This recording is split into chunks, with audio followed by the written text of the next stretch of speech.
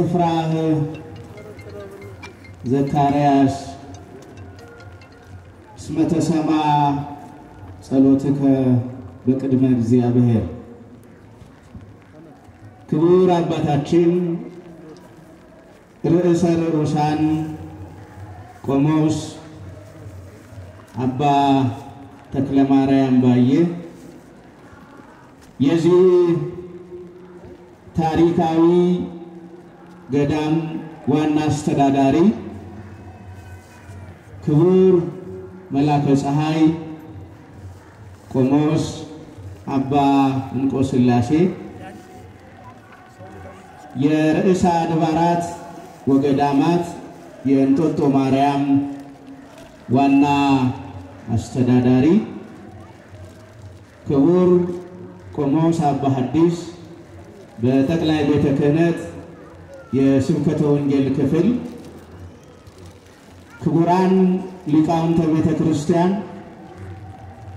እጅግ የተወደዳችሁ ካህናት አባቶቻችን፣ የወንጌል ሰባኪያን መምህራነ ቤተ ክርስቲያን፣ ዲያቆናት ወንድሞቻችን፣ የሰንበት ትምህርት ቤት ወጣቶች በዚህ ቀን ልዩ በሆነ ምስጋና በተቀደሰ ዝማሬ ወደ ሰማይ በሚደርስ እልልታ በስጦታዎችና በልዩ ልዩ አገልግሎቶች ሁሉ በረከትን ከእግዚአብሔር ለመቀበል በእግዚአብሔር ፊት በማገልገል ላይ ያላችሁ የልዑል እግዚአብሔር ልጆች ጌታን በሕቱም ድንግልና ጸንሳ በሕቱም ድንግልና የወለደች ወላዲተ አምላክ የድንግል ማርያም ወዳጆች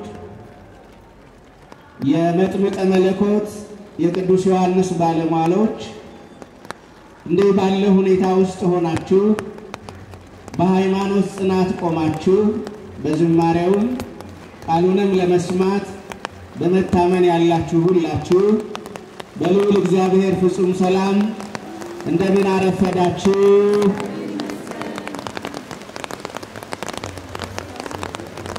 እንግዲህ እንዲህ ያለው እግዚአብሔር በረከት እንዲያደርግልን ከመቁጠር ያለፈ ሌላ ሀሳብና ምክንያት የማናቀርብለት ጊዜን፣ ወቅትን፣ ተፈጥሮን መሰረት ያደረገ ለምድራችን የሚያስፈልግ የእግዚአብሔር ልዩ ስጦታ ነውና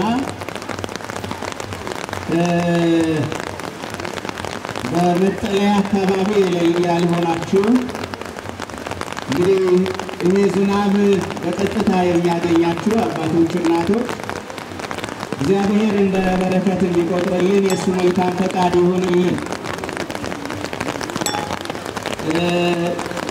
እንግዲህ በያላችሁበት ሆናችሁ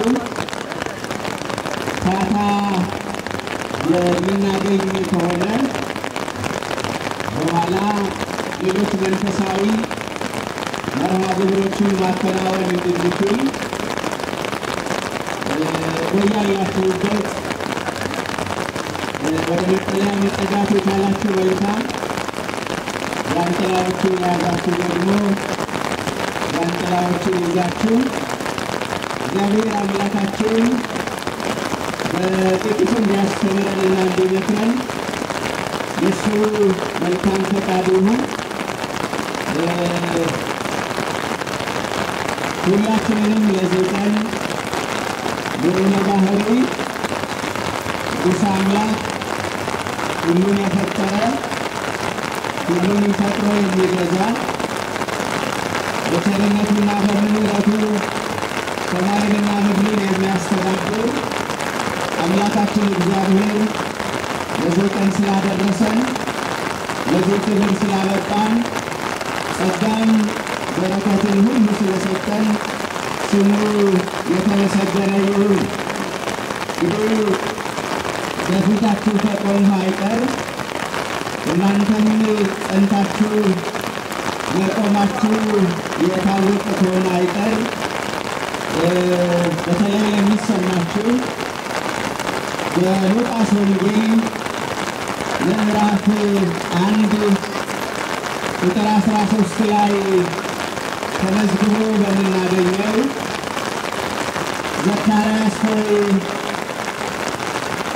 ጸሎት ተሰምቶልሃልና አትፍራ በሚለው ኃይለ ቃል የዕለቱን ታሪክና መልእክት እግዚአብሔር አምላካችን እየረዳን ምሕረቱና ረድኤቱ እንደማይለየን ተስፋ አድርገን በፊት ለፊታችን በቆመው በቃል ኪዳኑ ታቦት ታምነን እግዚአብሔር የሚለንንና የሚነግረንን ሁሉ እንከታተላለን።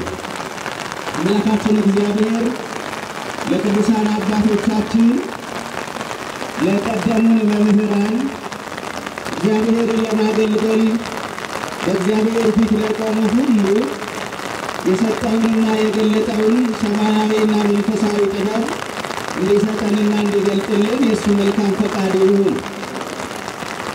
ዘካርያስ ሆይ ጸሎት ተሰምቶልሃልና አትፍራ። እንግዲህ በዚህ ኃይለ ቃል ሶስት መሰረታዊ ነጥቦችን አጠር ባለ ሁኔታ ወደ እናንተ አቀርባለሁ። የመጀመሪያው ጸሎት ተሰምቶልሃልና ብሎ ለካህኑ ዘካርያስ ለመናገር ከእግዚአብሔር ወደ ዘካርያስ ወደ ካህኑ የመጣው ማን ነው የሚለውን እናያለን። እንደገናም ደግሞ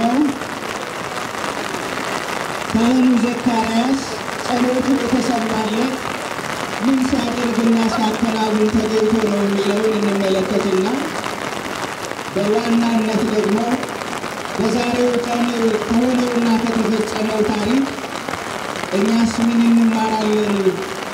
የሕይወታችን ምን አይነት መልእክትና ትምህርት አለው? የሚለውን ነገር ተመልክተን እግዚአብሔር በረዳን መጠን እናጠናቅቃለን።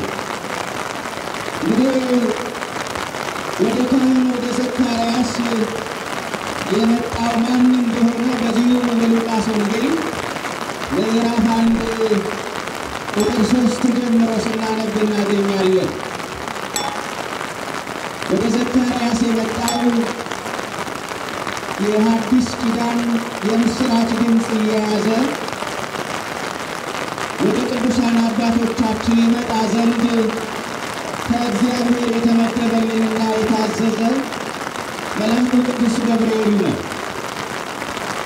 ዘካርያስ ሆይ ጸሎትህ ተሰምቶልሃል ብሎ ለካህኑ ለዘካርያስም የነገረው ሁላችሁ እንደምታውቁት በመሠዊያው ቀኝ በማጠኛው ቀኝ ካህኑ በሚያገለግልበት በስተቀኝ በኩል ቆሞ ለካህኑ መልአኩ ቅዱስ ገብርኤል ነው።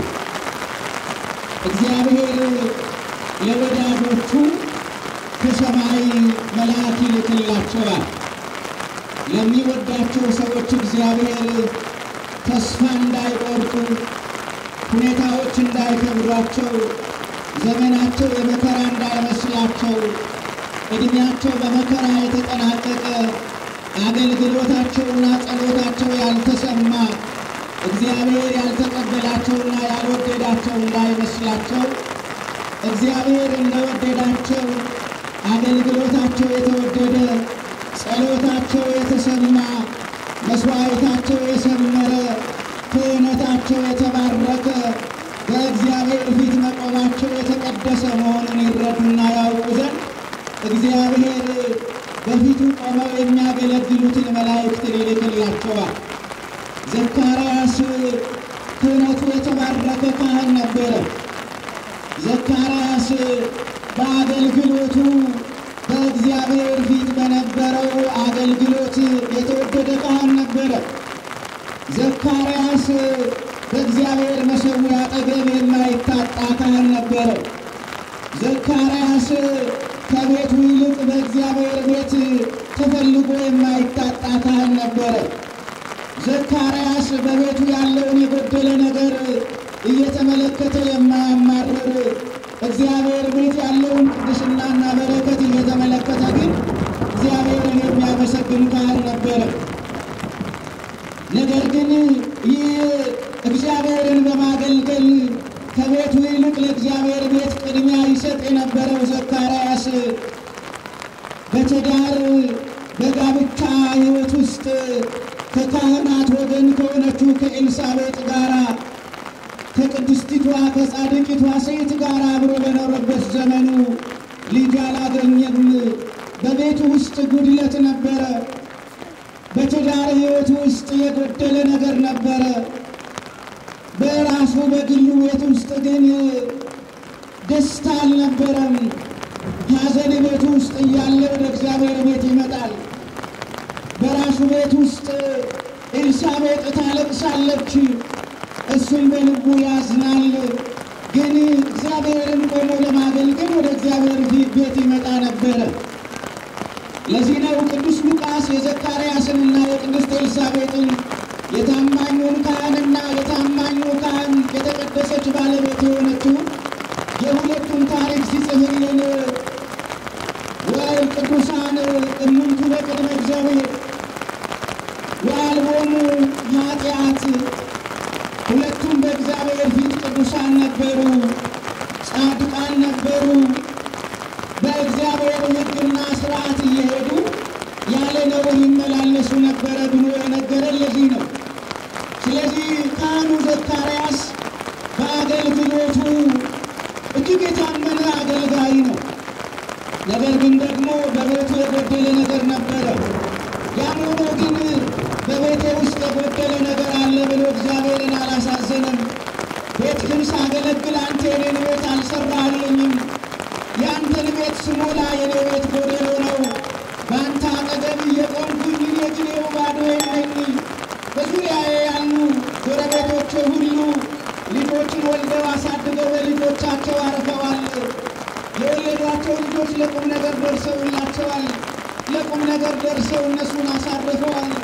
እኔንም ያሳርፈኝ ልጅ የለኝም። ዓይኔን የምጥልበት ልጅ የለኝም። ተስፋ የማደርገው ልጅ የለኝም።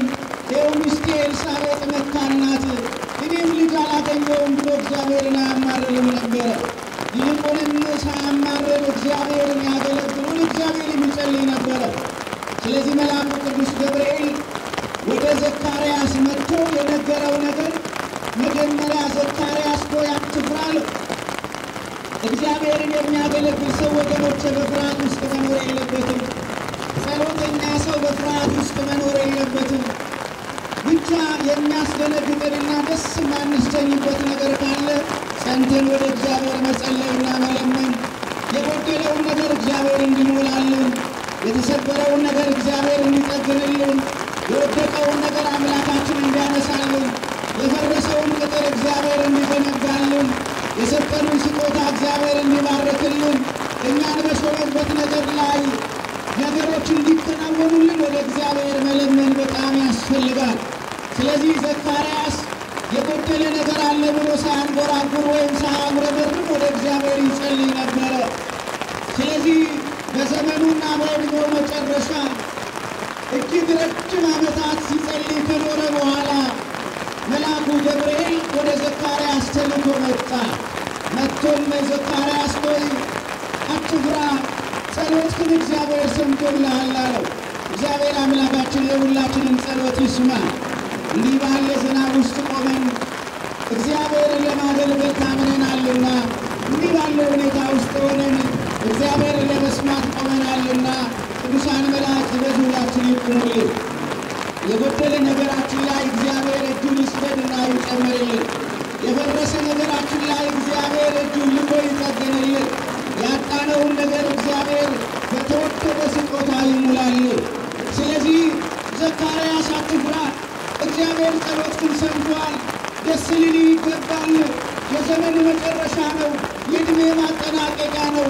አርጅተሃል። ዘመን እያለቀ ነው። ግን እግዚአብሔር ዘመን በለቅሶ እንዲያልቅ አይፈልግም። በእንባ ጊዜ እንዲያልቅ አይፈልግም። ዘመን በመከራ እንዲጠናቀቅ አይፈልግምና እግዚአብሔር በዕድሜ መጨረሻ በዘመን በእርጅና ጊዜ እግዚአብሔር ጸሎትን ሰምተዋል አለው። እግዚአብሔር ጸሎታችንን ይስማ። የጸሎታችን መልስ የሆነውን ነገር እግዚአብሔር በምሕረቱ ይላክልን። ስለዚህ ጸሎት ተሰምቶልሃል አለው።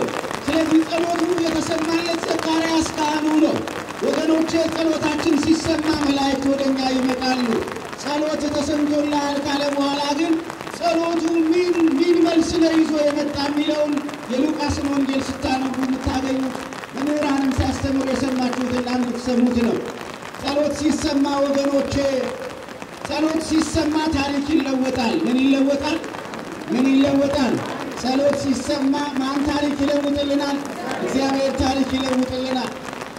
እግዚአብሔር ታሪክ ይለውጥልናል። ዘካርያስ ታሪኩ ኤልሳቤጥ ታሪኳ የሚታወቀው ልጅ ባለመውለድ ነው። በመካንነቷ ነው የምትታወቀው። በጎረቤቷ ያሉ ሁሉ ልጅ አሳድገዋል። እሷ ግን ልጅ አልነበራትም። በአጠገቧ ያሉ ሁሉም ልጅ ወልደው ስመዋል። እሷ ግን ልጅ ወልዳ አልሳመችም።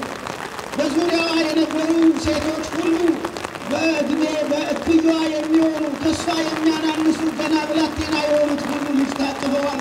እሷ እጅግ ላይ እሷ እቅፍ ላይ ግን ልጅ አልነበረም። እሷ ልጅ መሳም ትፈልግ ነበረ፣ ግን ደግሞ ነበረች። ነገር ግን ጸሎት ሲሰማ እግዚአብሔር ታሪኳን ለወጠላት እና መልአኩ ጸሎት ተሰምቶልሃል ካለው በኋላ እነሆ ሚስቴ ኤልሳቤጥ ጸንሳ ወንድ ልጅ ትወልዳለች አለ። ሚስቴ ኤልሳቤጥ ትጸንሳለች፣ ወንድ ልጅ ደግሞ ምን ትላለች? ትወልዳለች አለው። ክብር ምስጋና ለገናናው ለእግዚአብሔር ይሁን ወገኖቼ። አያችሁ ምንም ነገር ምንም ነገር በማይታይበት ጊዜ ምንም የተጠበቀ ነገር በሌለበት ጊዜ የማይጨበጠውን እንድንጨብጥ የሚያደርገን እግዚአብሔር ነው። ስለዚህ ትጸንስና ልጅ ትወልዳለች እንደገና የሚወለደው ልጅ ደግሞ ደስታና ፍስሐ ይሆናል አለ። ይትፌሱ በልደቱ በሱ መወለድ ደግሞ ብዙዎች ደስ ይላቸዋል አለው። እውነት ነው። ይሄ ቃል ተፈጸመ። ዛሬ ቤተ ክርስቲያን የምታስበው ይሄ ቃል መፈጸሙን ነው። እግዚአብሔር የተናገረው ይፈጸማል። ማን የተናገረው ይፈጸማል? ማን የተናገረ ምን ይፈጸማል? እግዚአብሔር የተናገረው ይፈጸማል። እግዚአብሔር ያለው ይፈጸማል። እግዚአብሔር የነገረን ነገር ይፈጸማል። ስለዚህ የዛሬው ቀን ሁላችሁ በታሪክ እንደምታውቁ ከካህኑ ከዘካርያስ ነቢዩ ዮሐንስ ተወለደ። ኢሳይያስ በምዕራፍ አርባ አራት ቁጥር ሶስት ላይ አዋጅ ነጋሪ ብሎ የተናገረለት ከጌታ በፊት የሚሄደው ዮሐንስ የተወለደበት እንኳን ደስ አለን ሁላችንም ወገኖቼ። ታሪኩን ታውቁታላችሁ። ከዚህ በላይ በታሪኩ መቆየት አልፈልግም። እንደገና ደግሞ ዝናቡም እየበረታ ነውና ታሪኩን የምታውቁት ስለሆነ የተወደዳችሁ ወገኖቼ እግዚአብሔር በረከት ያሳጣል። የመጣንበት ጉዳይ በረከት ይዘን እንድንወጣ እግዚአብሔር ነገር በኩል እግዚአብሔር በምሕረቱ ይጎብኛል። አምላካችን እሱ የምሕረት አምላክ ነውና አስፈላጊውን ነገር ሁሉ ይስጠን። ይቆየን።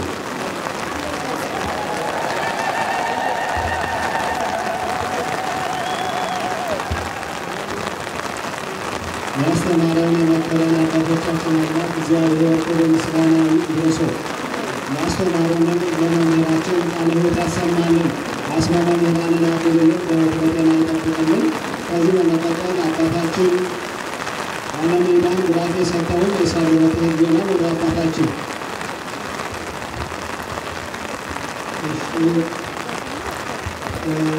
በስመ አብ ወወልድ ወመንፈስ ቅዱስ አሃዱ አምላክ አሜን። ክቡር አባታችን መላከ ፀሐይ አባ እንጦ ሥላሴ የርዕሰ አድባራት ወገዳማት እንጦጦ ቅድስት ማርያም ቤተ ክርስቲያን ዋና አስተዳዳሪ፣ ክቡር መጋቤ ብሉይ መምህር መላክ የቅድስት ሥላሴ መንፈሳዊ ዩኒቨርሲቲ የብሉይና የሐዲስ ኪዳን ትርጓሜ መጻሕፍት መምህር ክቡራን ይቅርታ እንግዲህ ያው ዝናብ ስለሆነ ክቡራን ሊቃውንተ ቤተ ክርስቲያን፣ አብያተ እግዚአብሔር ካህናት፣ መምህራን፣ እግዚአብሔርን የምትወዱ እግዚአብሔርን የሚወዳችሁ ከቅርብም ከሩቅም በዓሉን ለማክበር የመጣችሁ እግዚአብሔር ቤተሰቦች በእግዚአብሔር ስም እንደምን አደራችሁ? እግዚአብሔር አምላካችን ስሙ ለዘላለም የተመሰገነ ይሁን። እንኳን አደረሳችሁ። አመስግኑ እግዚአብሔር እንግዲህ ያው ተፈጥሮ ገብቶናል። አሁን በጣም ዝናብ ስለሆነ እናንተም ዝናብ ላይ ቁማችሁ ታቦቱም ዝናብ ላይ ቁሞ ሌላ ፕሮግራም ማካሄድም ስለማያስፈልግ ጸሎት አድርገን ታቦቱን እናስገባለን ማለት ነው። ስለት ያዛችሁ፣ መባ ያዛችሁ በየቦታው ድንኳኖችም አሉ፣ ሙዳይ ምሳትም አለ። እዚያ እየሰጣችሁ እንድትሄዱ እናሳስባለን። እግዚአብሔር አምላካችን በዓሉን የሰላም የፍቅር፣ የበረከት በዓል ያደርግልን። ሌላው ቤተ ክርስቲያኑን ለማስጨረስ ተቆሎ ወይም ቡተሪ ተዘጋጅቷል። የአንዷ መቶ ብር ናት፣ ይዞራል። ሁላችሁም የምትችሉትን ያህል የምታደርጉ ሌላው መዳን ትወዳለህ የሚል መጽሐፍ ሕይወታችንን የሚጠግን መንፈሳዊ ምግብ የሚሰጥ ታላቅ መጽሐፍ ባህታዊ የጻፉት ስለሆነ እሱንም እንድትገዙ እያሳሰብ ከዚህ በመቀጠል አባታችን መላከ ፀሐይ ቆሞስ አባ እንቆ ጸሎት ያደርጉልንና ወደ መንበረ ክቡር ታቦቱን እናስገባለን።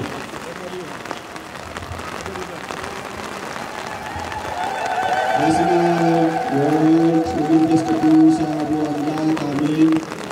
ክቡር አባታችን ርዕሰ ልሳን ቆሞስ አባ ተክለ ማርያም ባሉ የዚህ የቤተክርስቲያን ዋና አስተዳዳሪና የቅዱስ ሕዝብ ጠባቂ አባት ሲያስተምሩ ስለቆዩ ታላቅ ነገር መጋቢ ሐዲስ ወይኑ እንታ ነባት ቅዱስ ሥላሴ መሳይ ዩኒቨርሲቲ ኮሌጅ እንዲሁም ሊቃውንቱ በየስማችሁና በየማዕረጋችሁ ሰበታዊ አባላት፣ የልማት ኮሚቴ አባላት፣ የልማት ኮሚቴ አባላትና የተከበራችሁ ምዕመናን፣ ሕፃናት በአጠቃላይ በዚህ ቅዱስ ቦታ የመጣችሁ የእናታችን የቅድስት ማርያም ልጆችና በእግዚአብሔር ስም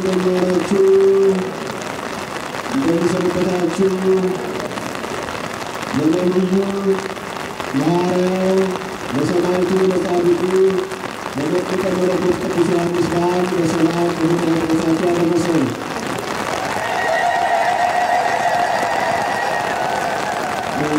እንግዲህ በዓሉም ጭምር ነው። ዮሐንስ ውሃ አጠመቀ። እናንተም ደግሞ ዛሬ ትልቅ በረከት አግኝታችኋል እና ሰዓቱም ጊዜው ስለሆነ ነው። ከታሪክ ጋር በዓል ነው። ስለዚህ ሁላችሁም በረከት አግኝታችኋል። ቅድም ለምሰብሳ እንደተናገሩት ህንፃ ቤተክርስቲያኑ መስከረም ሁለት ቀናውን እንግዳ ሚትላለ እሱ መግዛት ጊዜ ተሰርቶ ግቢው ተጠናቆ ከሚስቶን መልሶ ለመተራዞ ልብሶ ቤተክርስቲያኑ ያልቃል የሚል እዛ ሰዓት የሚደርሱ የቤተክርስቲያን በገንዘባችሁ በእውቀታችሁ በሀሳባችሁ እንዲሰሩ እግዚአብሔር ስም ጥሪያችሁን ያስተላልፍ።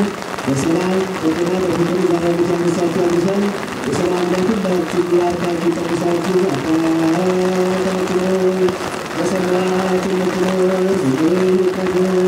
ትምጣ ፈቃድህ በሰማይ እንደሆነች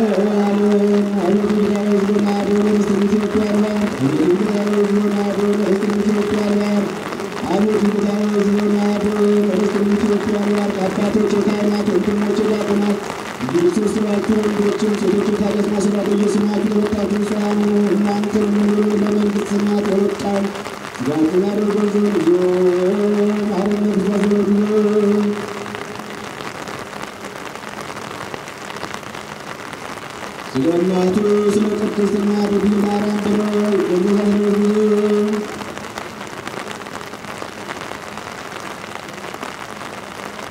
ስናት በድፍረት ሳናት በስህተት በመናገር በማሰብ በግልጥ በስውር ከሰራናት በኢየሱስና ስማችን እግዚአብሔር ይታዘን ያድርገን ቅዱስ። እግዚአብሔር